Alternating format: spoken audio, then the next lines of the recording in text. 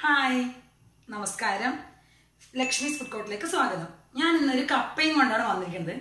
കപ്പ കൊണ്ട് എന്റെ അമ്മയൊക്കെ ഉണ്ടാക്കുന്ന നല്ലൊരു കറിയുണ്ട്. അത് ഉണ്ടാക്കാനാണ് ഞാൻ നിങ്ങളെന്ന് പഠിപ്പിക്കാൻ പോണത് ഭയങ്കര ടേസ്റ്റ് ആട്ടോ. എനിക്കൊക്കെ ഭയങ്കര ഇഷ്ടമാണ് അപ്പം ഞാൻ എന്തായാലും എന്റെ അമ്മയുടെ കൈപ്പുണ്യമൊന്നും അവകാശപ്പെടുന്നില്ല. എങ്കിലും ഒന്ന് ട്രൈ ചെയ്ത് നോക്കട്ടെ. എങ്ങനെ വരും നോക്കാലോ. അപ്പം നിങ്ങളും ഇതൊന്ന് ഉണ്ടാക്കി നോക്കൂട്ടോ നല്ല ടേസ്റ്റാണ് നമുക്ക് എന്തായാലും അധികം വർത്താനൊന്നും പറയണ്ട. നമ്മൾ പ്രൊസീജിയറിലേക്ക് കിടക്കാം.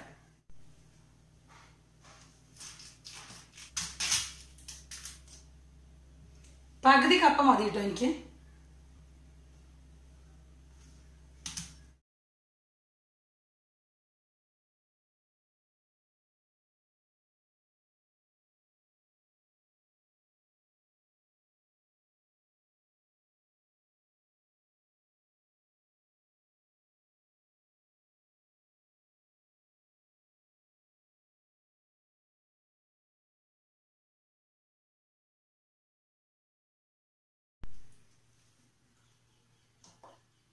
കപ്പ കണ്ടോ ചെറിയ ചെറിയ കഷ്ണങ്ങളായിട്ട് ഇങ്ങനെ അരിഞ്ഞിട്ടുണ്ട്. അതിനെ ഞാൻ കുക്കറിലേക്ക് ഇടാണ്. അപ്പൊ നന്നായിട്ട് കഴുകിയ ശേഷം കുറച്ച് വെള്ളം ഇട്ട് നന്നായിട്ട് ഉപ്പും ചേർത്ത് വേവിക്കുക. നിങ്ങളുടെ കപ്പയുടെ വേവനുസരിച്ച് വേണം വിസിലിടാനായിട്ട്. കാരണം ഇവിടെ അത്യാവശ്യം നന്നായിട്ട് വേവണ കപ്പ ഇട്ടിട്ടുണ്ട് ഒറ്റ വിസിലേ ഞാൻ ഇടുന്നുള്ളൂ. ചെറിയ കഷ്ണങ്ങളാണ് സൂക്ഷിച്ച് വേണം വിസിലിടാൻ. അപ്പൊ നമ്മുടെ കപ്പയൊക്കെ ഞാൻ ഇതുപോലെ കുക്കറിന്റെ അകത്ത് ഇട്ടിട്ടുണ്ട്. ഇനി നമുക്കിതൊന്ന് കഴുകി എടുത്തിട്ട് വരാം. കഴുകി കഴിഞ്ഞപ്പോൾ ഇതാണ്ടോ നല്ല പാലിന്റെ പോലത്തെ വെള്ളമൊക്കെ അങ്ങോട്ട് കളയണം. കാരണം അത് സ്റ്റാർച്ച് കണ്ടന്റ് ആണ്. ഇതുണ്ടോ ഇപ്പൊ ഇങ്ങനെ തെളിഞ്ഞു കാണില്ല അടിയിൽ കപ്പ? ഇതുപോലെ ക്ലിയർ ആവണം വെള്ളം. അതുവരെ കഴുകുക. ഇനി നമുക്കിത് കുക്കറിലിട്ടിട്ട് ആവശ്യത്തിന് ഉപ്പും ചേർത്ത് വേവിച്ചെടുക്കാം.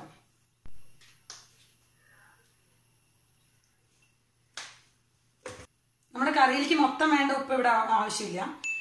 കപ്പയിലേക്ക് വേണ്ട ഉപ്പ് മാത്രം ഇട്ടാൽ മതി. ബാക്കി നമുക്ക് കൂട്ടാനിലേക്ക് നമുക്ക് പിന്നീട് അഡ്ജസ്റ്റ് ചെയ്യാൻ പറ്റും.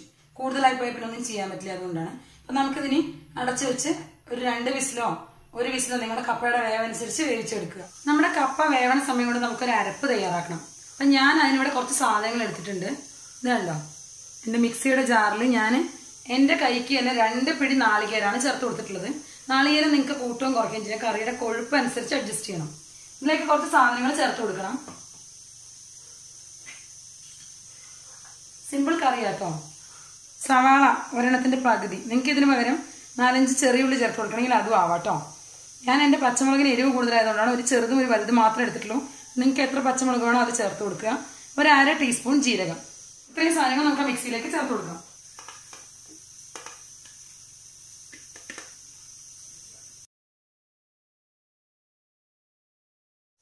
അപ്പൊ നമ്മുടെ ഈ സാധനങ്ങൾ നമുക്കൊന്ന് അരച്ചെടുത്തിട്ട് വരണം. ചിലവർ പറയും കൈകൊണ്ട് എന്തിനാ ചേർത്തേന്നൊക്കെ അപ്പൊ അതുകൊണ്ട് അതും കൂടെ പറയാനേ ഞാൻ വന്നേ. നമ്മുടെയൊക്കെ വീട്ടിൽ ചപ്പാത്തി മാവൊക്കെ നമ്മൾ കൈ കൊണ്ടല്ലേ കുഴയ്ക്കുക നമ്മുടെ കൈ വൃത്തിയായിട്ട് കഴുകിയിട്ട് തന്നെയാണ് നമ്മൾ കുക്ക് ചെയ്യാറ് നമ്മുടെയൊക്കെ വീടുകളിൽ സ്ഥിരമായിട്ട് അമ്മമാർ അങ്ങനെയൊക്കെ തന്നെ ചെയ്യുക. ഓരോ അടുക്കളയിലും ഫുൾ സ്പൂണ് തവി കയ്യിലൊന്നും ഉപയോഗിച്ച് നല്ല ചെയ്യുണ്ടാവുക പിന്നെ വീഡിയോ ചെയ്യുന്നതിൽ അങ്ങനെ കാണിച്ചു കാണിച്ചുകൂടെന്നൊക്കെ ചോദിച്ചാൽ നീറ്റ് അല്ലാത്തൊരു പരിപാടി നമ്മൾ ചെയ്യുന്നില്ലല്ലോ.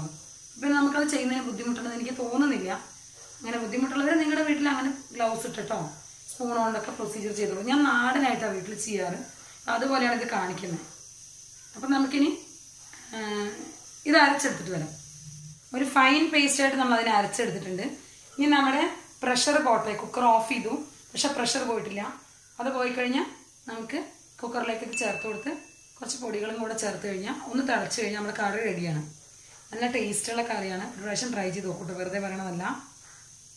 നമുക്ക് കുക്കർ ഒന്ന് തുറന്ന് നോക്കാം.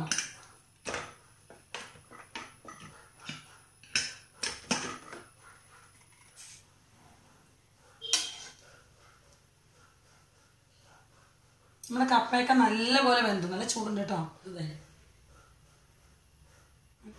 ഞാൻ നിങ്ങൾക്കൊരു കാര്യം കാണിച്ചു തരാം.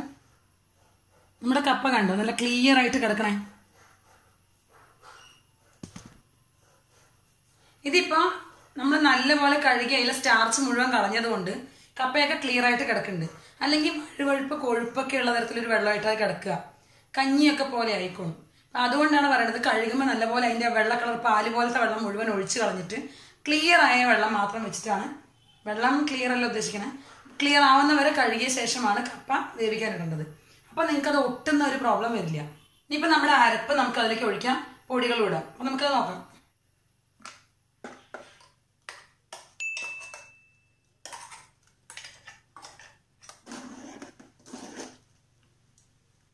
ഇതിലേക്ക് കുറച്ച് മുളക് പൊടി ചേർക്കുന്നുണ്ട്. നിങ്ങളുടെ എരിവ് അനുസരിച്ച് അഡ്ജസ്റ്റ് ചെയ്തോളൂ ഒരു അര ടീസ്പൂണേ ചേർക്കുന്നുള്ളൂ. ഒരു കാൽ ടീസ്പൂണോളം മഞ്ഞൾപ്പൊടിയും ചേർക്കുന്നുണ്ട്. കൈമൊന്ന് കത്തിച്ചു കൊടുക്കുക. നന്നായിട്ടൊന്ന് മിക്സ് ചെയ്തിട്ട് ഇനി ഇത് നന്നായിട്ടൊന്ന് തിളക്കട്ടെ. ഇതിന്റെ ഇടയ്ക്ക് നിങ്ങൾ ഉപ്പിന്റെ അളവും കൂടെ ഒന്ന് അഡ്ജസ്റ്റ് ചെയ്യണം. നമ്മുടെ കറി നന്നായിട്ട് കിടന്ന് തിളയ്ക്കുന്നുണ്ട്. അതിൽ ആവശ്യത്തിനുള്ള ഉപ്പുണ്ട്. അതുകൊണ്ട് ഞാൻ എക്സ്ട്രാ ഉപ്പ് ഇടുന്നില്ല. നിങ്ങൾ ഉപ്പ് കുറവാണെങ്കിൽ കുറച്ചുകൂടി ഇടുക.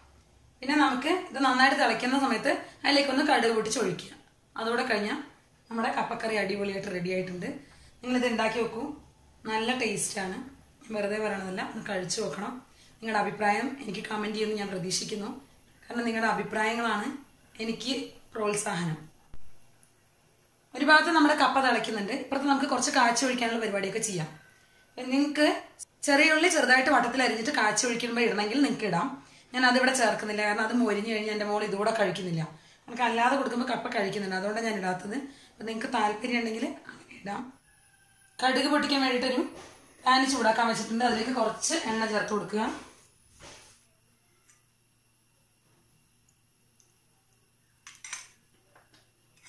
എണ്ണ ഒരുപാട് ചൂടാവേണ്ട. അപ്പോൾ ഫ്ലെയിം ഒന്ന് താഴ്ത്തി വെച്ചോളൂ.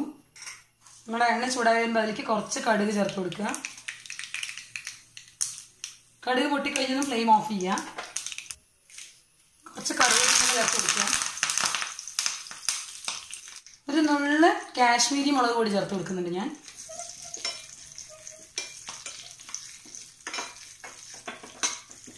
എന്നിട്ടൊന്ന് മിക്സ് ചെയ്ത് കൊടുത്തിട്ട് നമ്മുടെ കറിയിലേക്ക് ഒഴിക്കാം. ഇത് ചെയ്യുന്നതിന്റെ ഇടയിൽ കൂടെ നമ്മുടെ കറി ഇവിടെ നല്ലോണം തിളച്ചപ്പോൾ ഞാനതൊന്ന് ഓഫ് ചെയ്തിരുന്നു.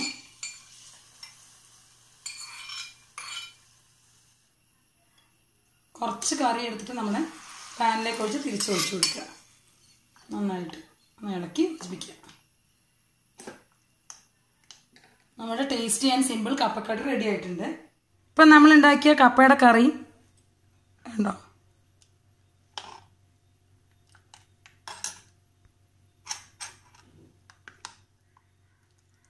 ഇതിങ്ങനെയാണ് ഇരിക്കുന്നത്. കാരണം ക്യാമറ എത്രമാത്രം എനിക്ക് അപ്പോൾ സൂം ചെയ്യാൻ പറ്റുമെന്ന് അറിയില്ലായിരുന്നു. അപ്പോൾ ഒന്നുകൂടെ കാണിക്കുന്നുണ്ട്. നല്ല ടേസ്റ്റി ആൻഡ് എമ്മിയാണ് ട്രൈ ചെയ്ത് നോക്കൂ കേട്ടോ സിമ്പിൾ അല്ലേ? നല്ല ടേസ്റ്റും ഇല്ലേ? ടേസ്റ്റ് ഉണ്ടോ നിങ്ങൾ ഉണ്ടാക്കി നോക്കിയല്ലേ അറിയുള്ളൂ അല്ലേ? അപ്പോൾ ഒന്ന് ട്രൈ ചെയ്ത് നോക്കിയിട്ട് അഭിപ്രായം പറയാം കേട്ടോ അപ്പോൾ നല്ലൊരു റെസിപ്പി ആയിട്ട് വീണ്ടും കാണാം. ബൈ സാധാരണ ഞാൻ കുക്കിംഗ് കഴിഞ്ഞ ഉടനെ തന്നെ നമ്മുടെ ഗ്യാസ് സ്റ്റവ് ഒക്കെ ക്ലീൻ ചെയ്ത് വെക്കും. കാരണം അത് അതിൽ പിടിച്ചു കഴിഞ്ഞാൽ പിന്നെ ക്ലീൻ ചെയ്യാൻ ബുദ്ധിമുട്ടാണ് ഇതിപ്പോൾ കുക്ക് ചെയ്ത് കഴിഞ്ഞല്ലോ കേട്ടോ നല്ല ചൂടൊക്കെ ഉണ്ട് പക്ഷേ നല്ല തിക്കായിട്ടുള്ളൊരു വൈപ്പാണ് ഞാൻ ഇവിടെ യൂസ് ചെയ്യുന്നത്. ഇത് ഞാൻ അവിടെ നിന്ന് കൊണ്ടുവന്നതാണ് ഗൾഫിൽ നിന്ന്. എനിക്ക് നാട്ടിൽ കിട്ടുമെന്നൊന്നും അറിയില്ല. ഒന്നും വേണമെന്നില്ല കേട്ടോ സാധാ കോട്ടൺ തുണി നനച്ചതായാലും മതി. നന്നായിട്ടൊന്ന് ക്ലീൻ ചെയ്ത് വെച്ചാൽ പിന്നീട് നെക്സ്റ്റ് ടൈം യൂസ് ചെയ്യുമ്പോൾ ഈ എണ്ണയൊക്കെ തെറിച്ചതും അല്ലെങ്കിൽ കുക്കർ ചീറ്റുമ്പോഴൊക്കെ ഉള്ളതൊക്കെ ഓൺ ദ സ്പോട്ട് ക്ലീൻ ചെയ്യാം. നമ്മുടെ സ്റ്റൗവൊക്കെ ഗ്ലാമർ ആയിട്ട് തന്നെ ഏത് സമയത്തും കാണാൻ പറ്റും. ഇതൊരു ടിപ്പായിട്ട് പറഞ്ഞൊന്നുമല്ല നോർമൽ പ്രൊസീജിയറായിട്ട് ലൈഫിൽ ഫോളോ ചെയ്യേണ്ടതാണ്. ഞാൻ ചെയ്യുന്ന കാര്യം പറഞ്ഞതേ ഉള്ളൂ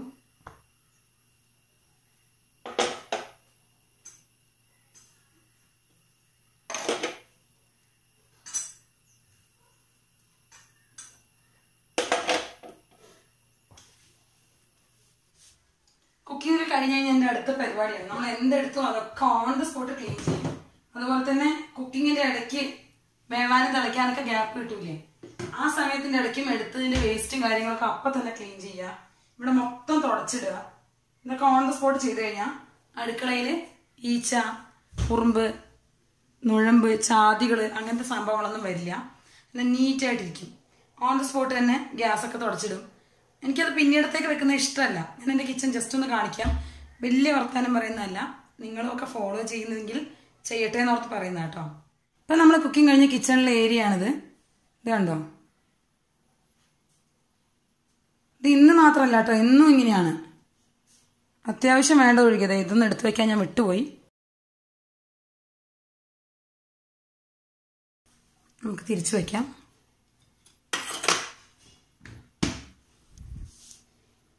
അപ്പോൾ ഇത് കണ്ടോ ഞാൻ വെജിറ്റബിൾസിന്റെ വേസ്റ്റും കാര്യങ്ങളൊക്കെ ഇതവിടെ ഇട്ടിട്ടുണ്ട്. ഇതുണ്ട്. വേറെ കഴുകാൻ കൂടെ പാത്രങ്ങളൊന്നും ഡിഷ് ഇതിലിടാറില്ല. അങ്ങനെയൊക്കെ നമ്മൾ യൂസ് ചെയ്യുകയാണെങ്കിൽ നമ്മുടെ കിച്ചൺ എപ്പോഴും ക്ലീൻ ആയിട്ടിരിക്കും.